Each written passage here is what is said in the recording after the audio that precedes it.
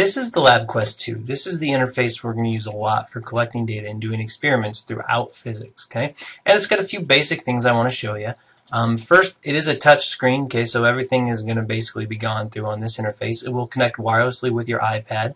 Um, and when you use it, there's a couple different places you can plug in sensors depending on what you're using. If you're using an analog sensor, which are things like force probes and temperature sensors, okay, they plug in a lot right along the side here, and these only fit in one direction. You line it up, clip it in, okay, and you're ready to go and collect data there. If you have a digital sensor like a photo gate or a motion detector, okay, you have to open this little rubber flap at the top, okay, and then they just plug in there. So that's pretty straightforward, easy to use. Um, right next to this rubber flap to hide the digital sensors is the power button. Okay, push it once and it wakes up and it'll start loading its screen and I'll show you how that stuff works in just a second. Okay, if I push the power button again, it goes to sleep. Okay, we never really have to shut these down or power them all the way down. When we're done, this side has the charging dock station in it, okay, and so this just slips into a charging dock when you're done. There are three hardware buttons along here. We almost never use them, but sometimes they are handy.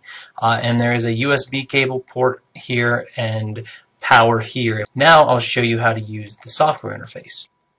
This is the software interface of the LabQuest, okay? And there's some basic screens on the LabQuest that you should be familiar with. Okay, the default screen when it comes up is this one. Now sometimes this screen doesn't launch right away. Sometimes you're looking at this screen. Okay, and usually we don't need to deal with anything in here. Okay, so I'm going to go ahead and click LabQuest app. Okay, that's the app that we use to collect all our data. And down here it shows me my battery and my Wi-Fi connection.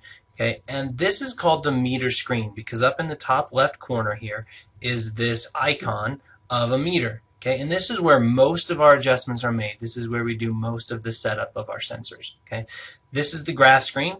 If I touch that little icon, it shows me a graph, Y and X, and those will change depending on what sensors I'm plugged in and what I'm recording.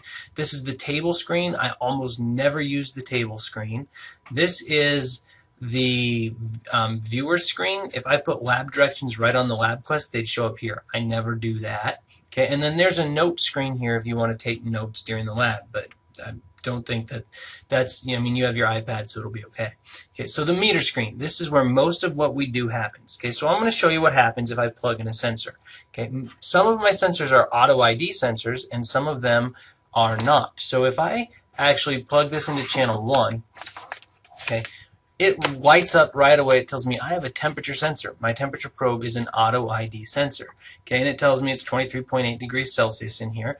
And if I touch this, okay, I can say, okay, well, I want that in Fahrenheit or Kelvin, whatever. Um, there's several options there. Okay, now since this was an auto ID sensor, I don't have a lot to deal with, but I can change how long it samples for and, and how many samples it's taking. So over here under mode, rate, and duration, any of these, these are hot, they're clickable, I can touch them, and it gives me some options. Okay, so time-based is telling me I'm going to take samples based on time. There's some other things we can do. Okay, depending on what we're doing, we can do events with entry, where if I'm changing something and I tell it I changed it, I can do it that way. If I had a photo gate in there, we could do things like that. Okay, but time-based is good enough for this one. Rate and interval. These are two ways of looking at the same thing. The rate says I'm going to take two samples per second. The interval says, well, maybe sometimes it's seconds per sample. I want to go the other way. So every half second, it's going to sample. Okay, so if I change one, the other one changes in response. So if I click in there and it says two seconds and I change it to four sec or four samples per second and click done, then you can see now my interval is 0.25 seconds per sample. Okay, I don't really need to do that. Um, I can, I'm to probably go one, okay, and, and there we go. So one sample per second, one second per sample. Duration, this is how long my experiment's going to last. How long is it actually going to collect data for? This is measured in seconds, okay, I can change that, but 180 seconds is three minutes. So if I wanted five minutes, I could put five here and then change my units from seconds to minutes, okay? And so it tells me, okay, I'm going to collect five minutes, but then it changed this in response. So now I'm doing one sample per minute or one minute per sample. Okay, and so you got to be careful when you do things like that. So if I really wanted my one sample every second and my duration to be five minutes, then I need to put in my my time in seconds. Okay. All right. And then triggering, sometimes we use that. Okay, if we're going to use triggering, it's right there, and you can change stuff there. If we ever have to do that, I'll show you how.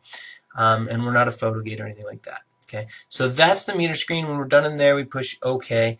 And now over here, it tells me what I changed. I'm still time-based. I'm one sample per second, and I'm collecting for 300 seconds. Okay, and then once I'm ready to start data collection, I'm going to go over here and I'm going to push play. And it automatically, you can see it changed my graph from temperature or y and x to temperature and time.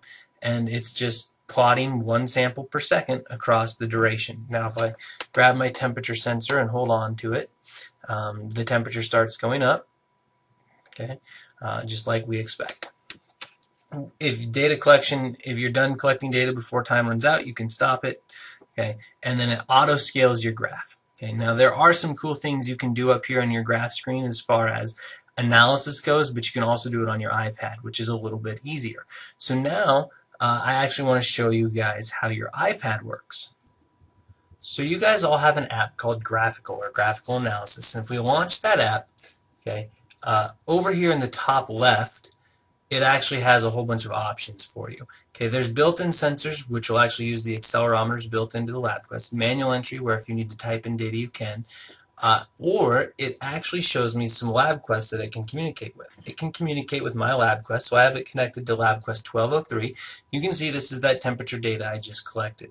Okay, now, what's cool about this is there is um, some things I can do right on my iPad. I can actually control the LabQuest through my iPad. Now, this screen up here is my scaling or zooming screen, and I'm going to minimize that and get it out of the way.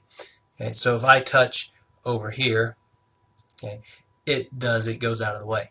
Now, all I have to do to start doing analysis on this is highlighting portions of the curve I'm interested in. So if I wanted to see this section, I'm going to touch and drag on my screen across there, and it shows me these little flags. I started at 12 seconds, I ended at 21 seconds, and if I touch inside here on my screen, okay, it brings up this menu, and it says, okay, well, what do you want to do? Well, I can describe it like since this is where I, I grabbed the temperature probe, I can say um, grabbed temp probe so I can explain why this happened. Okay, and so it's starting to measure not air temperature but my temperature. And then these little bars down here, okay, they actually will let me do a fit. Now this isn't linear and it's not quadratic. I don't, you know, I'm not sure what it is. Okay, but if I thought I had a good idea what it looked like, I could do that. And it starts to actually fit curves to this data. Okay, and none of these look like they fit very well because, well, it's not really any of them. But if I throw a line on there, it actually gives me the equation of that line. Uh, and so sometimes that's very, very helpful. Okay, I can add that in there and now I can see, okay, there's the linear data that we collected um, for this temperature and if I want up here on the top, okay, I can say, okay, well, what if I wanted to look at a different graph or a different screen? I can select that out of there.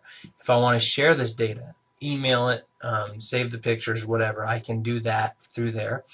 Um, and then down here in the bottom, if I want to just look at data I've collected before, I can touch this history thing, and that actually shows me a whole bunch of data that I've collected in the past. And so I can pick through some of those. Okay? So you're going to use your LabQuest as well as the iPad to do some data analysis and look at all this stuff. Okay, so it's a pretty straightforward, intuitive system. You can't break it. Just play with it, get familiar with it, and I'm sure you guys can figure it out.